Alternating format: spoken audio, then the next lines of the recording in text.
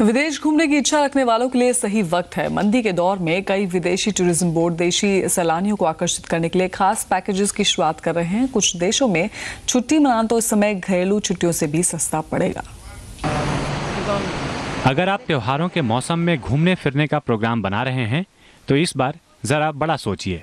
बरसों से विदेश में छुट्टी मनाने के अपने सपने को इन दिनों आप पूरा कर सकते हैं। असल में मंदी की मार झेल रहे देशों के टूरिज़्म बोर्ड्स ने ज़्यादा से ज़्यादा सैलानियों को लुभाने के लिए ज़बरदस्त डिस्काउंट स्कीम लॉन्च कर दी है यानी इस समय विदेश में छुट्टी मनाना केरल गोवा या हिमाचल में छुट्टी मनाने से भी सस्ता पड़ सकता है For a person with the nights, three days, it comes to less than 10,000 INR. And uh, from south, south part of India, from north, from Delhi, it's about 13,000 INR. So that's the, the kind of rates that we can offer.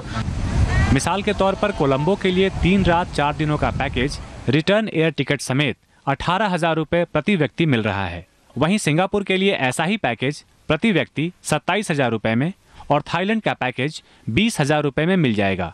वहीं घरेलू destinations में शिमला के तीन रात चार दिनों के tour package के लिए आपको उनतीस हज़ार रूपए प्रति व्यक्ति खर्च करने होंगे। गोवा के लिए ये पैकेज उन्नीस हज़ार रूपए और केरल के लिए ऐसा ही पैकेज लगभग बाईस हज़ार रूपए में मिल रहा है।